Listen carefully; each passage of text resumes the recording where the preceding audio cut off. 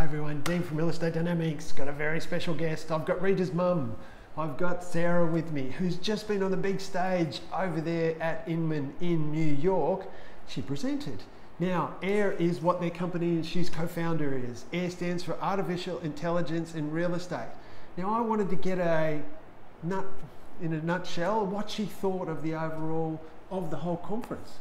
Yeah, the conference was amazing, and I think in terms of you know one takeaway yeah. theme that I can give you it's it's really that real estate is hitting a renaissance so by that I mean that the the old school we're kind of figuring Coming out back. that that worked yeah. you know relationship management being really relevant mm. and really invested in people's lives is is the piece that people want from us so that's good news absolutely and you know when I when I talk to people about this I say you know the the investment that companies like Google and Amazon are making in, yeah. in home devices so that they can be in the lounge room where people are making decisions about their home is, is phenomenal. Mm. But as real estate agents, you're already that close.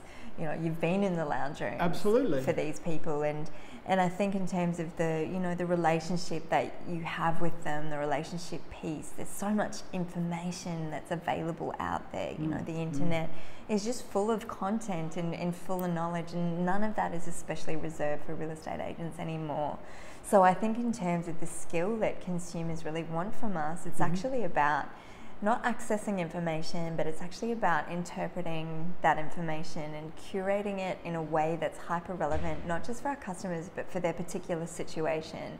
So Great point. People ask me all the mm. time, are robots going to replace real estate agents? I don't think they will. I mm. think that they will help good real estate agents to yeah. process that information and and sift through, you know, kind and of the use the really important stuff. Absolutely. Yeah. So you know, in the same way that an assistant might mm. get everything ready mm. for you so that you can deliver it and really focus on on the emotional labor that's that's part of the yeah. job, you know, the customer service and the customer mm. experience. Mm um, all of that piece is going to emerge as, as the only way to mm. differentiate and really gain a competitive advantage.